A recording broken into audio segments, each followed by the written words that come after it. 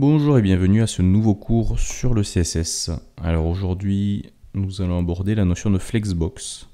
Euh, une notion qui va nous permettre en fait de disposer en colonne des, éléments, des blocs, un peu à la manière de ce qu'on avait vu par l'intermédiaire soit euh, des flottes, soit des display inline blocks, mais de manière beaucoup plus, euh, on va dire, simple qu'avec ces deux techniques-là.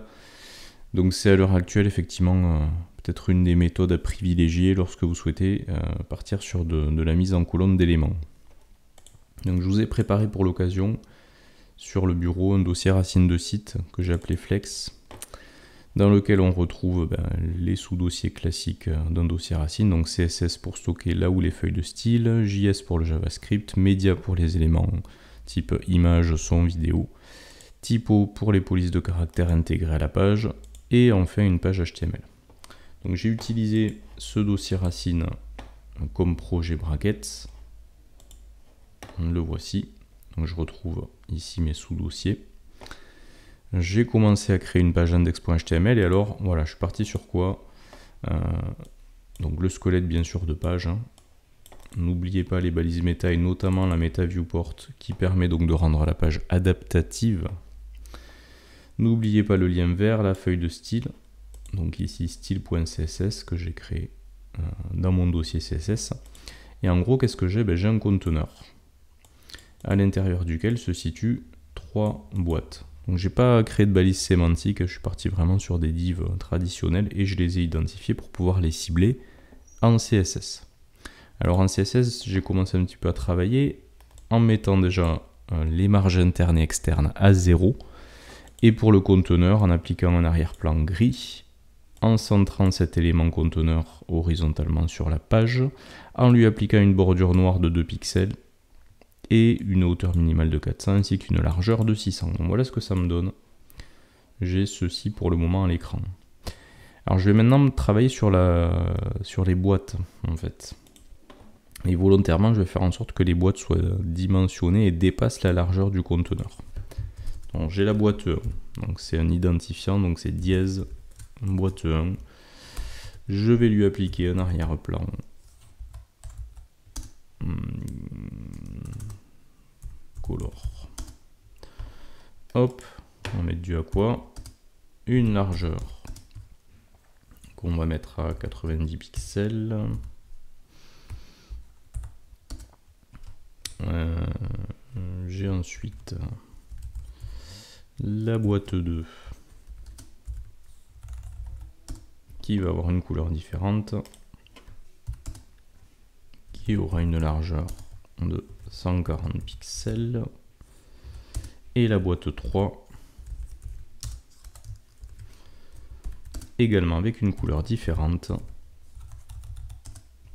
Alors on va partir sur un corail et une largeur de 100.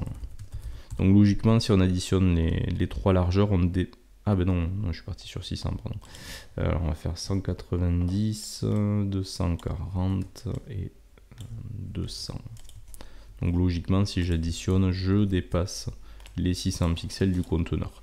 Alors de toute manière, là, ça va pas changer grand-chose puisque de base, euh, mes boîtes sont des, des, divs, donc sont des éléments de type bloc. Bah, ce qui fait que, hop, ils vont rester les uns à la suite des autres. Je vais peut-être les dimensionner.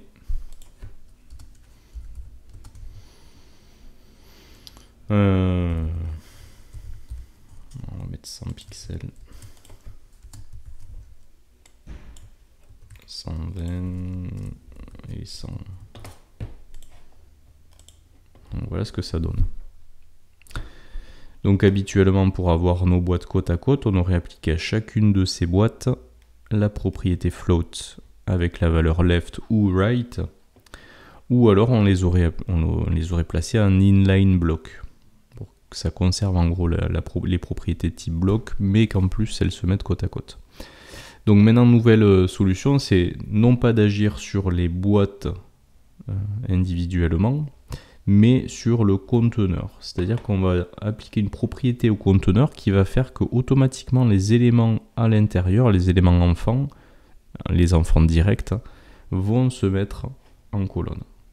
Donc pour ça, je cible ici le conteneur et la propriété qui va permettre la mise en colonne des éléments enfants du conteneur, c'est la propriété display avec la valeur flex, tout simplement.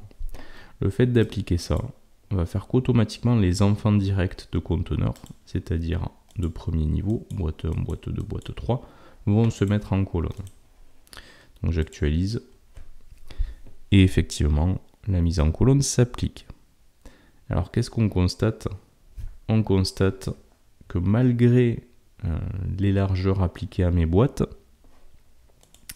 à savoir 100 euh, pixels pour la boîte 1, 120 pour la 2 et 100 pour la 3, donc c'est-à-dire euh, non pardon 190 pour la 1, 240 pour la 2 et 200 pour la 3, c'est-à-dire un cumul qui dépasse les 600 pixels du conteneur, ben, on se rend compte qu'en fait, les boîtes sont redimensionnées automatiquement de manière à pouvoir toutes se caler côte à côte dans le conteneur. Donc elles font plus la largeur, les largeurs que je leur ai indiquées. Alors peut-être que je peux inspecter d'ailleurs ces éléments. Effectivement, vous voyez celle-là, on me dit elle fait 180,9 pixels de large et non pas 190 comme je lui avais demandé. La boîte 2 elle-même fait 228 alors que je l'avais appliquée à 240. Et la troisième, 190 alors qu'elle était censée faire 200. Donc on se rend compte qu'en fait les boîtes se redimensionnent pour se caler côte à côte sur la même ligne. Euh, si vous souhaitez régler ça et euh, faire en sorte qu'il puisse y avoir donc un retour à la ligne possible euh, des boîtes si elles, elles, sont trop larges, à ce moment-là vous pouvez appliquer au conteneur une autre propriété qui est la propriété flex- wrap. Donc wrap étant le retour à la ligne en fait. Alors par défaut, la, valeur du flex wrap est no wrap. C'est ce qui se passe par défaut. C'est-à-dire on ne fait pas de retour à la ligne. Donc les éléments vont euh, se, se, compresser de manière à, ne pas retourner à la ligne. Euh, si par contre vous choisissez wrap, à ce moment-là, vous vous rendez compte, si j'actualise, que hop, on a un retour à la ligne, effectivement, de, euh, de l'élément, on va dire, qui est en débordement. Et là, on retrouve bien ma boîte 1 à 190 pixels de large, ma boîte 2 à 240 et ma boîte 3 à 200. Donc, il n'y a pas de souci. Donc voilà, ça c'était une petite précision. Alors si vous mettez d'ailleurs frappe wrap pardon, reverse, à ce moment-là, hop, vous vous rendez compte que euh, c'est un retour à la ligne inversée, en fait. Donc au niveau, au niveau de l'ordre. Bon. Généralement, on est en wrap ou no wrap. Bon, je vais laisser wrap et je vais juste redimensionner mes boîtes de manière à ce qu'elles tiennent côte à côte. Donc on va mettre 150 150 et 150, ce qui fait qu'on est bien en dessous des 600 pixels si on cumule. On a 450 pixels en tout. On actualise, voilà ce que ça donne. Alors pourquoi je repars là-dessus? Mais Pour vous parler de la notion d'alignement des boîtes. Alors certes elles sont côte à côte, mais vous voyez que elles sont toutes calées les unes à côté des autres, elles se touchent, elles ne sont pas réparties sur la largeur. Et il faut savoir que les Flexbox vous permettent justement de gérer la répartition des boîtes qui sont en colonne, sans avoir même besoin de gérer des marges. Et pour ce faire, vous pouvez appliquer sur euh, le conteneur une autre propriété qui est la propriété Justify Content qui permet justement de régler cette fameuse répartition. Donc si euh, vous utilisez par exemple la première, euh, la première valeur de propriété, ici center, à ce moment-là, vous allez avoir vos boîtes qui vont être centrées dans le conteneur. De cette manière-là. Elles continuent à se toucher, hein, mais elles sont centrées. Si vous utilisez le flex start, à ce moment-là, c'est le cas par défaut. Les boîtes commencent donc euh, par la gauche et s'inscrivent vers la droite.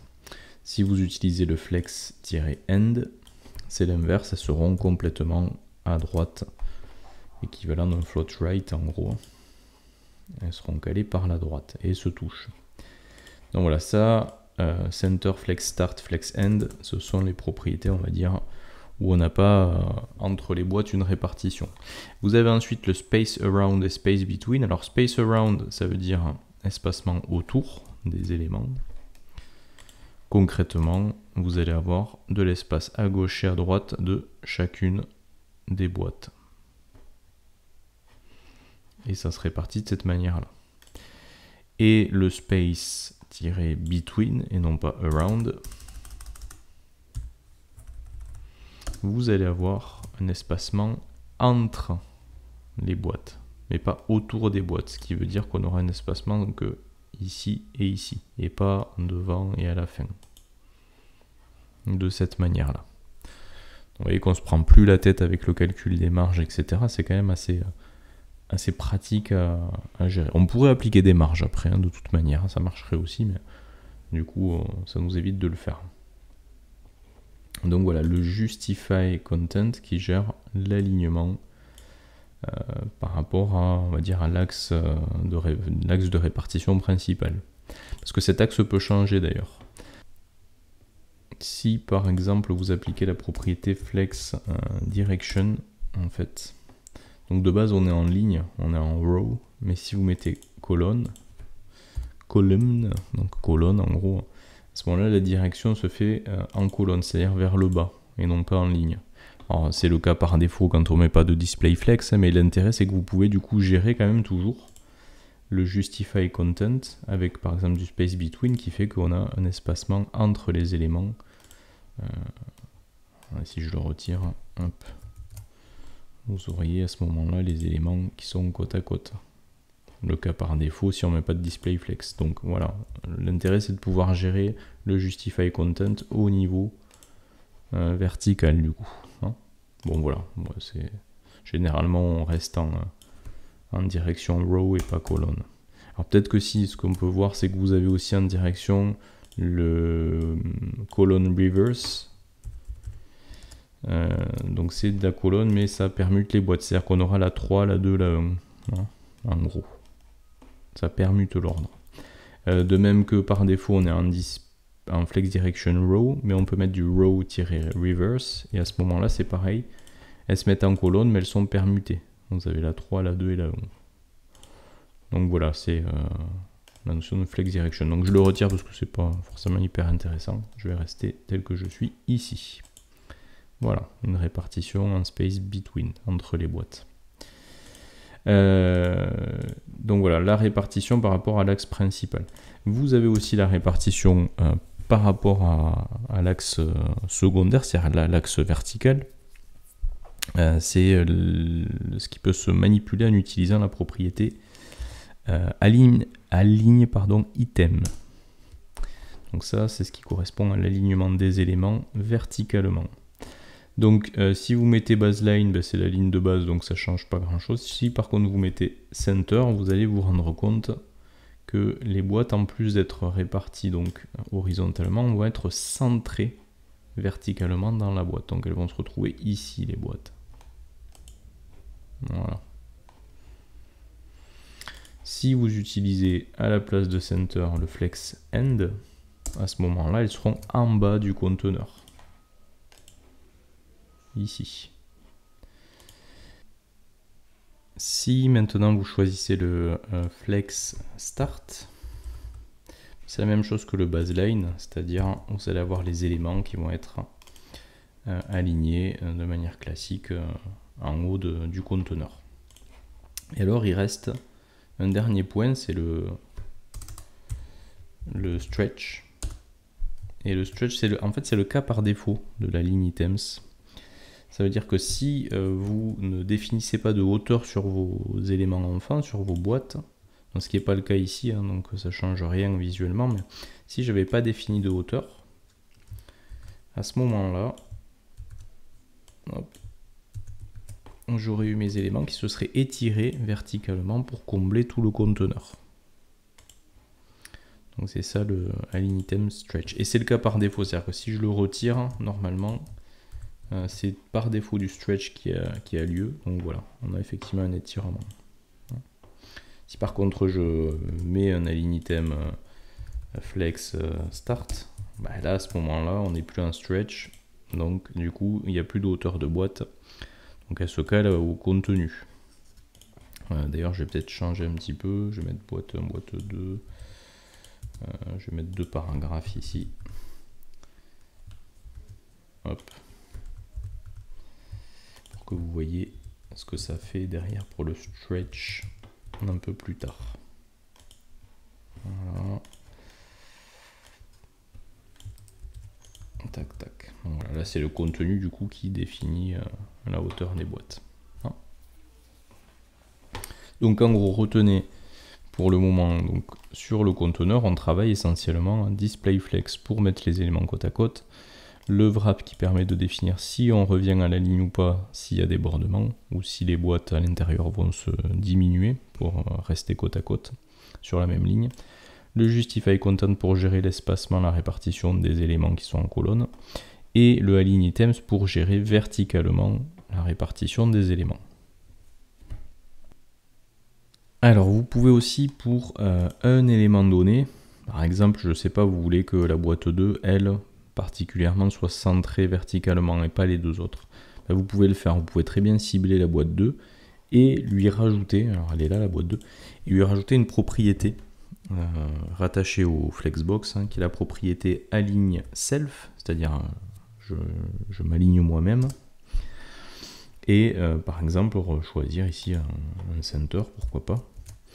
Auquel cas, vous aurez uniquement la boîte 2 qui sera centrée, et pas les deux autres. Ou stretch. Voilà. Auquel cas, la boîte 2 occupera toute la place verticalement. Donc vous pouvez le faire. Hein. C'est le Align Self et vous ciblez la boîte ou les boîtes concernées, puisque je pourrais très bien appliquer ça à plusieurs boîtes, même euh, dire ben, la 3 elle est centrée par exemple. La 2 est tirée, la 3 est centrée. Hop, voilà, c'est tout à fait faisable. Le Align Self. Alors, euh, on va maintenant parler euh, de notre type encore d'alignement, c'est euh, l'alignement euh, dit Align Content, qui va permettre en fait d'aligner les différentes lignes de, votre, de votre conteneur, s'il y a plusieurs lignes. Donc là pour le, cas, pour le moment c'est pas le cas, on n'a qu'une ligne, mais si je rajoute par exemple on va rajouter des boîtes. Hop. Oups, pardon. 4, la 5, la 6. Alors j'aurais pu mettre des classes en fait, hein, pour pas me prendre la tête et tout paramétrer de la même manière. La 8 et la 9. Bon, je change pas les numéros à l'intérieur. Oh, allez.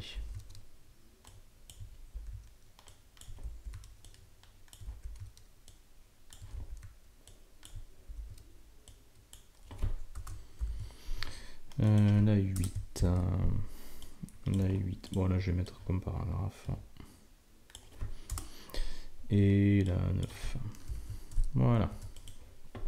Et ensuite, en CSS, il faut paramétrer tout ça.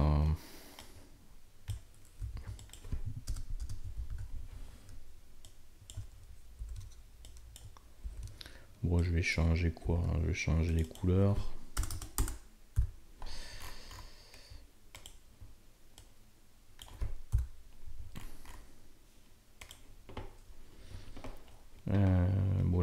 je garde les mêmes. Et... Hop.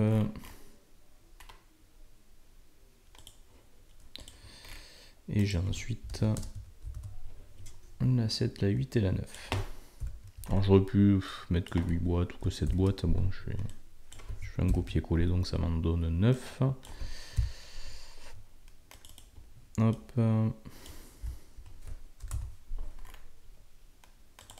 Hop.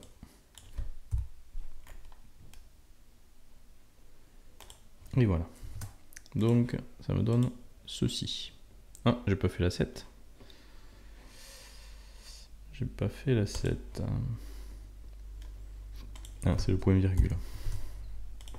Donc ça se dispose comme ça. Alors pourquoi ça se dispose comme ça? Parce que mes boîtes font 150 pixels euh, de large, donc 150 x 4, ça me donne 600, ça a la place de se mettre.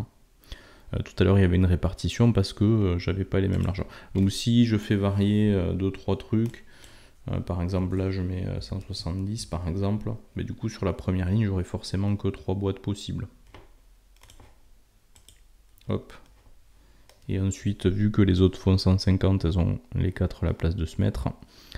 Et ensuite, donc, boîte 8 et 9 qui sont toutes seules sur la dernière ligne. Alors pourquoi on a ce gros espacement? Ben, Tout simplement parce que on a utilisé le space between sur le conteneur. Ce qui veut dire que l'espacement se trouve entre les boîtes. Euh, si j'avais mis du flex start, oups, pardon flex start en justify content, c'est-à-dire à, l'alignement par rapport à l'axe principal. À ce moment-là, elles auraient toutes été collées, voilà, euh, les unes à côté des autres, ce qui est tout à fait normal. Donc voilà, on a plusieurs lignes, et ça c'est dû au fait que euh, on a du wrap en flex wrap qui autorise le retour à la ligne. Si on avait eu du no wrap, à ce moment-là, euh, les boîtes se seraient redimensionnées de manière à pouvoir toutes rentrer sur une seule et même ligne. Hein. Donc ça c'est ce qu'on a vu tout à l'heure. Je laisse en wrap et euh, voilà ce que ça me donne. Alors, on est en flex start en aligne item, c'est-à-dire par rapport à l'axe secondaire, encore une fois. Si je mets du euh, stretch à ce moment-là, c'est le cas par défaut. J'ai les boîtes qui vont euh, en hauteur s'augmenter de manière à combler euh, tout l'espace disponible verticalement. Euh, si je mets du center à ce moment-là, hop, les boîtes sont centrées, hop, verticalement. Et si je mets du euh, flex end, elles vont commencer par le bas à s'aligner et vont se répartir ensuite comme ça. Donc ça je pense que vous avez euh, compris. Et donc le baseline, tac, ça va me donner hop, la même chose que le flex start, ce que je vous disais tout à l'heure. Voilà, voilà. Mais donc, ce que je voulais vous montrer, c'est la notion euh, de donc, plusieurs lignes et comment on va pouvoir euh, gérer les éléments, euh,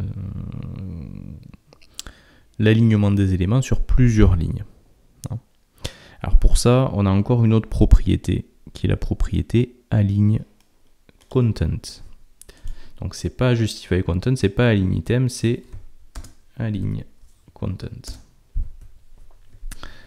Alors, euh, si on choisit Flex Start, à ce moment-là, hop, les éléments, vous voyez, ils se collent, les lignes se collent verticalement les unes aux autres.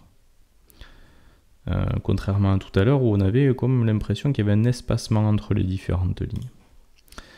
Donc c'est le flex start. Si vous mettez flex end, vous aurez compris que effectivement les éléments vont se coller mais par le bas. Si vous choisissez flex, euh, pardon, euh, center, les éléments seront centrés, les lignes seront centrées et collées les unes aux autres. Et si vous mettez un stretch, vous allez avoir les lignes qui en fait vont, c'était le cas par défaut, toujours c'est le cas par défaut, qui vont chacune occuper tout l'espace. C'est pour ça qu'en fait, par rapport à ce que vous voyez ici, la première ligne, en fait, elle arrive jusque là. Elle s'étire. La deuxième ligne s'étire jusqu'ici, la troisième ligne s'étire jusque là.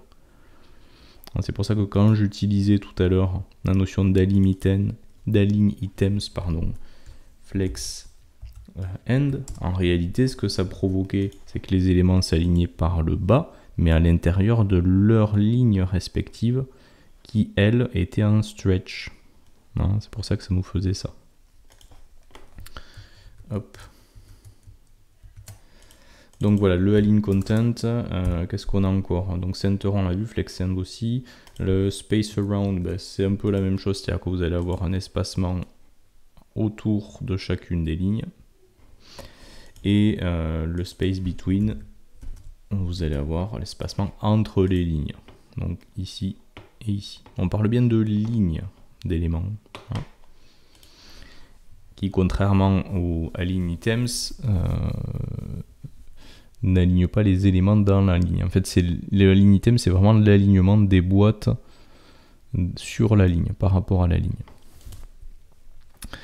Euh, donc voilà en gros pour ce qui est de la notion de, de display flex, donc de flexbox en CSS. Donc vous voyez qu'on peut faire pas mal de choses avec ces différentes propriétés là.